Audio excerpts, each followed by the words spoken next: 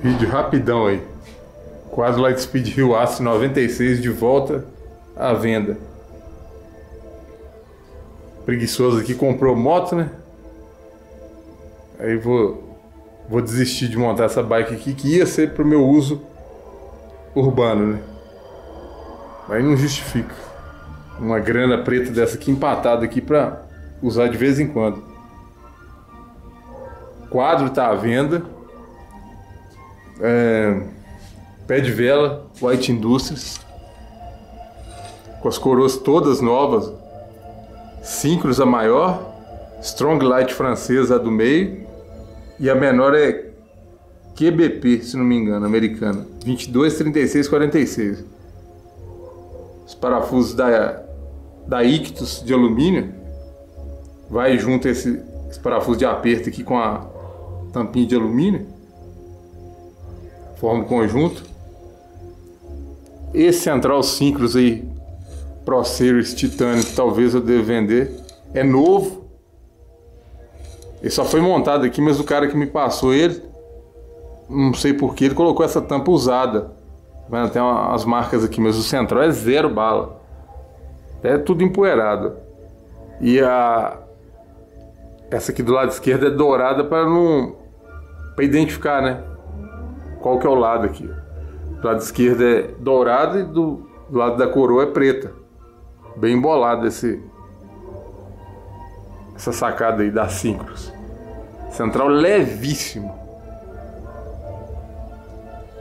Esse aqui não tem muito valor, mas eu vou vender, ó. Câmbio X9 de 9 velocidades, né? Triplo. Abraçadeira alta, difícil de ver. Vou vender. Câmbio muito bom. Traseira eu vou usar. Vou colocar ele na, na Turner DHR, DHR de downhill. Aí eu vai junto do quadro abraçadeira,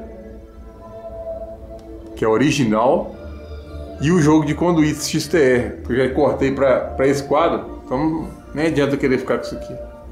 Tudo zero os conduítes. Vai os de freio e de marcha.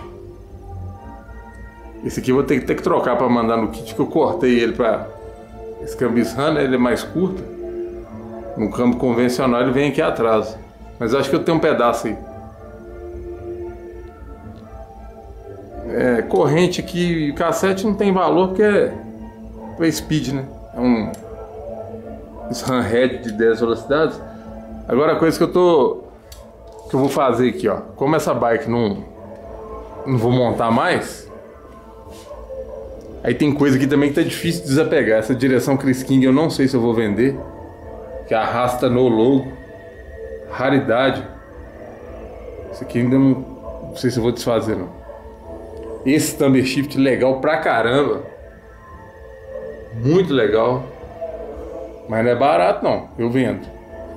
Essas manetinhas, aquela Light Pro que eu comprei do AliExpress.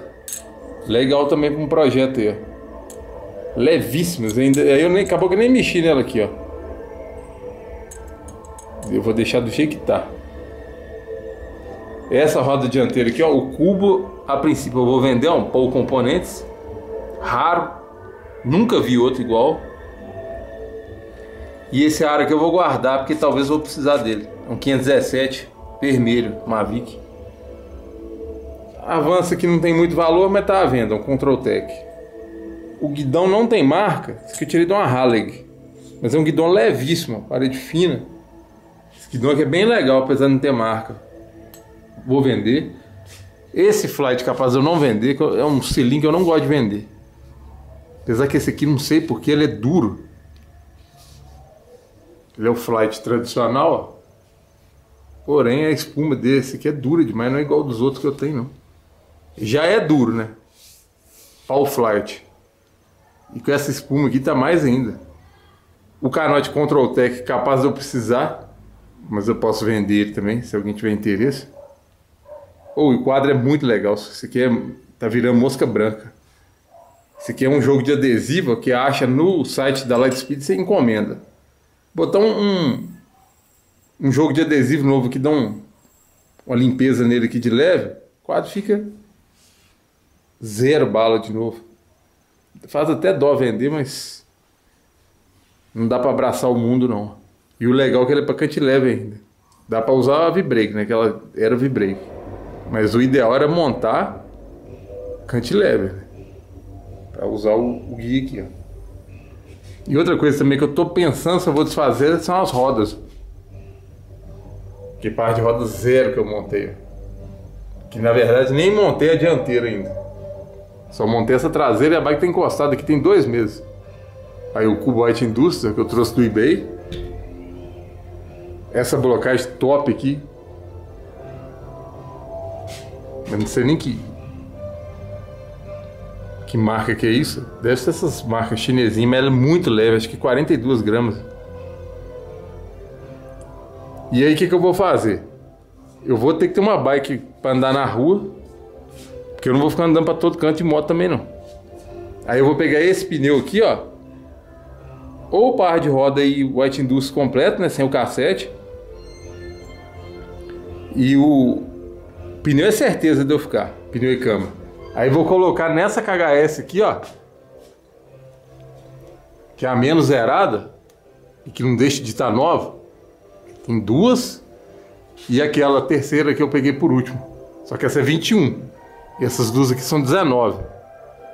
Aquela lá, 21, eu vou vender de todo jeito. Eu tô faltando é tempo para fazer o vídeo delas três junto. As três gêmeas aí. Aí essa que é a zeradona, muito original, eu vou pendurar na coleção lá em cima e pôr essa aqui para uso. Tem esse monte de bike, não anda, justifica, né?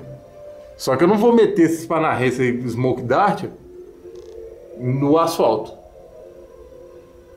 Tiro eles, guardo e vou colocar aqueles Maxes aqui, um ponto, um 25 aqui, ó, pra me rodar na cidade. Que essa bike ela tem um avanço curto, ó. Aí, o pneu outro tá até aqui, ó. No plástico. Do jeito que eu comprei, não montei a roda dianteira, tá aqui ainda. E essa KHS ela tem um avanço mais curto. Aí, um Titec. E o original é compridão. Esse aqui é curto e inclinado. Então essa bike tá boa pra rodar no asfalto. E como ela é zerada, essa aqui vai durar mais 50 anos aí. Só trocar corrente no tempo certo. Acaba nunca.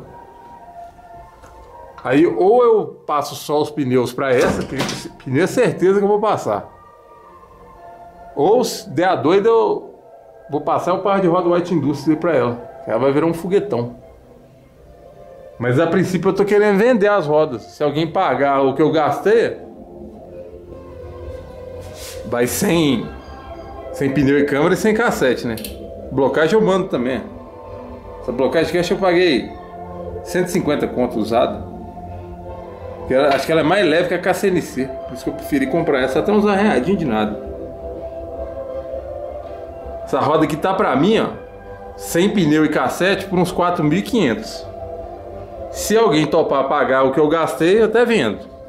Mas se for pra vender barato, ou eu guardo, ou põe na KHS, sei lá o que, que eu faço. Isso aqui não dá pra vender barato, não. Só de cubo aqui tem 3 mil reais. Não é brinquedo, não. Raio DT tudo zero, NIP da Mob, que é igualzinho o DT, só que é longo, que é quadradinho. Esse NIP aqui é espetacular, fica devendo em nada pro DT suíço. Até porque nem acha, né? Não sei fora, mas aqui no Brasil, acho que vou comprar não, o NIP DT, né? Aí o ar é zero, zero quilômetro. Pneu, certeza que eu vou ficar. E a roda, se alguém pagar os 4,5 que eu gastei, eu vendo. Se não, fica aí. Aí o pé de vela White Industry eu vou vender. Vou des... Tô desmontando ela aqui agora. Que eu já vou anunciar o quadro. Não vou montar mais essa bike. E ainda bem que eu não ia comprar um canote American Classic de titânio.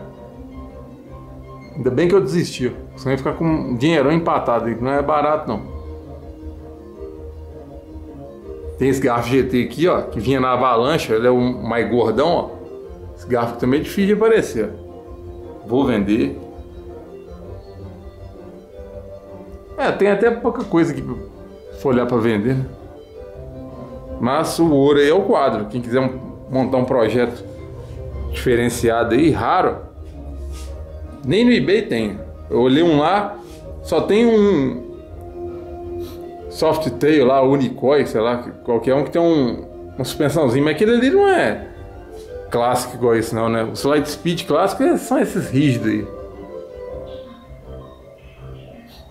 E tamanho 18, um tamanho que vai atender a grande maioria.